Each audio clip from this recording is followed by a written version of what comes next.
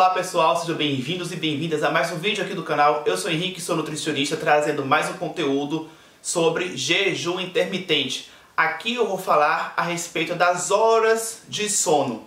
Essas horas durante o sono são contadas, podem ser consideradas no período do jejum intermitente? Eu já recebi esse tipo de dúvida há algum tempo, uma, duas vezes, enfim, algumas vezes. Recebi de novo recentemente, eu pensei, vou fazer um vídeo sobre isso, porque eu acredito que muita gente tem essa mesma dúvida. Se você tem essa dúvida, fica aqui até o final. Antes de mais nada, deixa o seu like, deixa o seu joinha aqui embaixo para mim, porque isso é muito importante, isso ajuda esse vídeo ser divulgado para mais pessoas.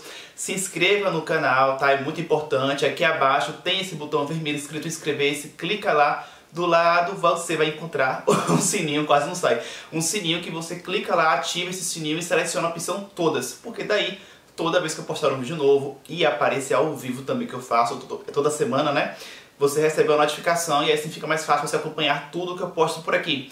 Como é sobre jejum intermitente, o que eu vou conversar aqui com vocês, deixo também a playlist sobre jejum intermitente aqui abaixo, porque sim, tem vários vídeos aqui no canal sobre esse assunto, jejum intermitente. Então depois, ó, que acabar aqui, vai lá conferir vários assuntos sobre jejum, jejum, jejum intermitente, ok? Bom, primeiramente eu queria aqui demonstrar o raciocínio que algumas pessoas têm que fazem com que elas tenham esse tipo de dúvida. Porque algumas pessoas pensam da seguinte maneira, tá? Pra, antes, né, deixa eu explicar para vocês a forma como a gente vai fazer aqui a dinâmica do nosso entendimento. O nosso dia tem 24 horas, então esse é o todo de horas de um dia. Vamos dividir aí o dia a cada 8 horas, tá? Então, se o dia tem 24 horas, a gente tem 3 momentos de 8 horas. 8 mais 8, 16, mais 8, 24. Então a gente tem 3 momentos de 8 horas, e aí sim a gente fecha um dia, né?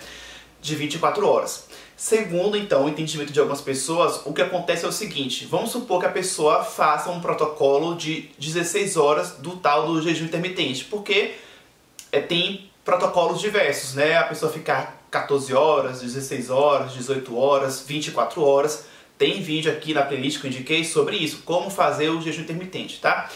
Mas vamos supor que a pessoa escolha o protocolo de 16 horas de jejum. Então pensa naquele segmento ali de 8, 8, 8 horas. Se a pessoa for fazer 16 horas, olha só, vamos supor que a pessoa durma às 8 horas, que são as horas, né? O tempo de horas recomendado, que é o indicado, que é o mais saudável. Então vamos supor que a pessoa durma 8 horas por dia para ter um sono reparador, tranquilo para né, você acordar bem no dia seguinte. Então pensa naqueles segmentos de 8 horas.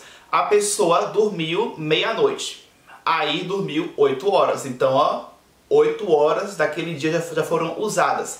Quando a pessoa acorda 8 da manhã, até as 24 horas ou à meia-noite, né, faltam as 16 horas do dia restantes para você encerrar esse ciclo de 24 horas. Só que a pessoa está fazendo, decidiu fazer, enfim, vamos supor que a pessoa esteja fazendo isso por conta própria, né? Porque se tivesse um profissional, esse tipo de dúvida não existiria. Então, a pessoa está fazendo por conta própria, o que já não seria bacana, então pode acontecer isso, né? Fazer tudo errado. Então vamos lá, a pessoa decidiu fazer o jejum intermitente por conta própria, já dormiu 8 horas, decidiu fazer o jejum intermitente de 16 horas e justamente faltam 16 horas para acabar o dia. Ou seja, assim que a pessoa acorda às 8 da manhã, a pessoa não vai comer nada, porque ela pensa: acabei de acordar, o meu jejum intermitente começa agora, de 16 horas. E as 16 horas só vão ser encerradas, ó, ao final do dia, quando for exatamente meia-noite que é quando a pessoa vai dormir de novo. E quando a gente dorme, né, a gente dorme, a gente não fica comendo enquanto dorme. Então pensa, a pessoa dorme, fica de novo em jejum por mais 8 horas, para só no dia seguinte acordar, e quem sabe a pessoa comer então no dia seguinte. Isso se a pessoa não estiver fazendo o jejum intermitente todos os dias. Porque vamos supor que a pessoa queira fazer um protocolo desse de 16 horas todo dia, né? A pessoa não vai comer nunca, porque ela, a pessoa vai ficar nesse nesse, nesse ciclo, dorme 8 horas, as 16 horas que restam são as 16 horas que a pessoa vai ficar acordada, mas que são as 16 horas do tal do jejum. Aí quando acaba as 16 horas do jejum, tá na hora de dormir. Então a pessoa não come de novo, acorda no dia seguinte, não come de novo, então a pessoa não vai comer nunca, né? Então tá tudo muito bem errado, né? Fiasco.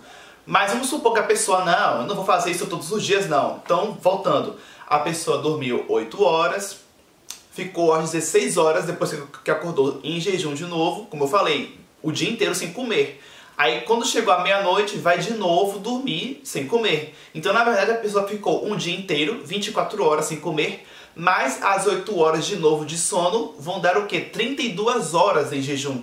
Para só no dia seguinte a pessoa, quando acordar, às 8 da manhã, no dia seguinte, a pessoa sim finalmente comer alguma coisa.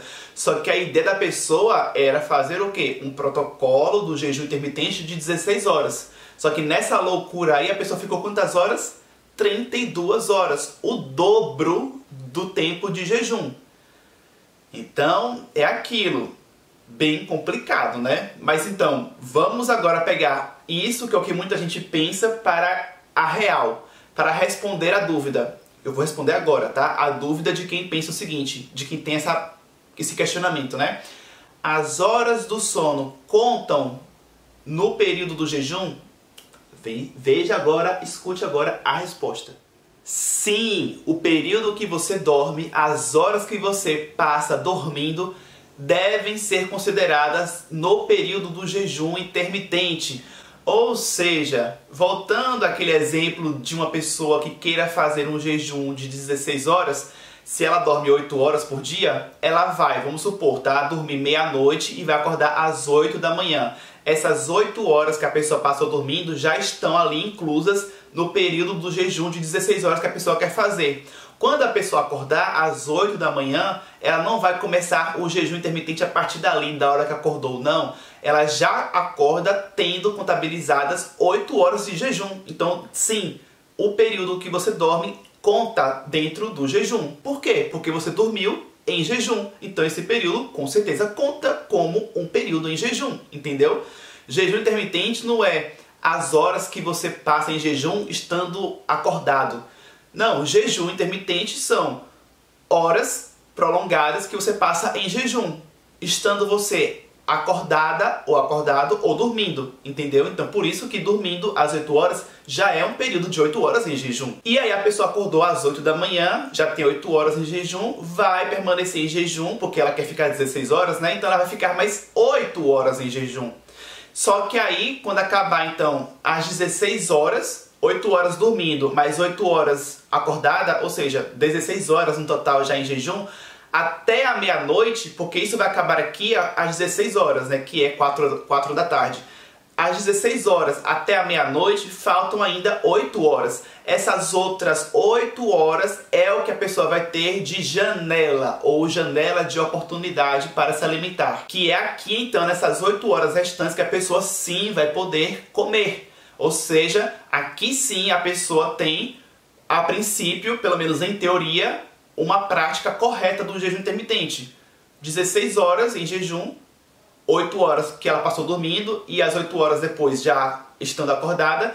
E aí sim, depois ainda restam 8 horas do dia a pessoa estando acordada e, portanto, estando acordada, a pessoa vai poder conseguir comer, entendeu? E aí sim, quando chegar a meia-noite, a pessoa não come mais nada, vai dormir em jejum e aí, enfim, né, se for fazer o jejum intermitente de novo no dia seguinte, faz de novo no dia seguinte, mas a pessoa já tendo comido alguma coisa antes, né, e não ficando sem comer, sem comer, sem comer eternamente, como seria naquele exemplo lá que eu falei anteriormente, né? Uma loucura, um fiasco, algo totalmente nada a ver. Então, eu espero que vocês aí tenham entendido. Se não entendeu, ficou com alguma dúvida, volta. Mas se ficou com alguma dúvida aqui que você não conseguiu realmente sanar aqui no vídeo referente ao que eu falei, pergunte aqui nos comentários. Nos comentários eu também preciso saber se você gostou bastante. Escreva para eu saber, né? Deixe o seu joinha também, se você ainda não havia deixado.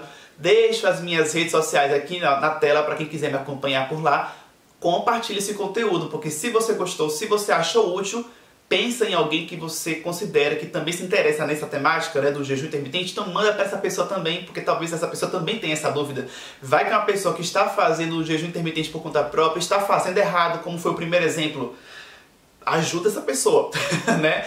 E deixando bem claro que para você evitar esse tipo de erro, embora eu tenha explicado aqui, mas outros tantos possíveis erros, ou no jejum intermitente, ou na sua alimentação como um todo, o que, que você tem que fazer? Ir a um profissional da nutrição, um ou uma nutricionista e fazer um acompanhamento, porque aí você vai fazendo os ajustes na sua alimentação tendo um profissional te orientando, te recomendando as coisas, e não você fazendo por conta própria e correndo o risco de fazer coisas e coisas e alterações e alterações errôneas, erradas. Um fiasco, né? Há um exemplo do que a gente viu aqui, né? Que foi aquele primeiro exemplo. E para quem quiser aí aprender mais comigo, tem aqui embaixo ó, algo bacana para você, que é o meu curso online chamado Nutrição Saudável e Enriquecedora. Acesse o link que está aqui na descrição, como eu já falei. E no mais, aqui na tela aqui, ó, já, já vai aparecer uma foto minha que você pode clicar para realizar a sua inscrição neste canal enriquecedor. Se você ainda não fez isso, se inscreva. Muito obrigado por ter me assistido até o final. Eu fico por aqui e até o próximo vídeo.